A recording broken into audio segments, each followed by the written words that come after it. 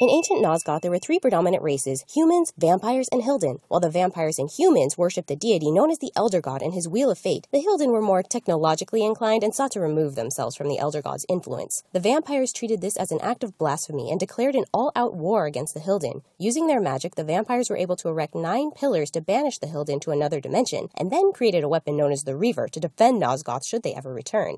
This backfired for the vampires as the Hylden were able to curse them with immortality and sterility, which placed them outside the Elder God's will of fate. Miserable, most vampires committed suicide while the rest were hunted down by humans. The responsibility of the pillars fell on humankind, and nine human guardians were appointed to the Circle of Nine to protect the pillars. There was peace for many years until one of the pillar guardians was murdered. This act corrupted the rest of the guardians, sending Nosgoth into chaos. Thirty years later, Kain, a human nobleman, is murdered and resurrected by a necromancer as a vampire. Now tasked with cleansing the corrupted guardians, it's up to Kain to restore order to Nosgoth.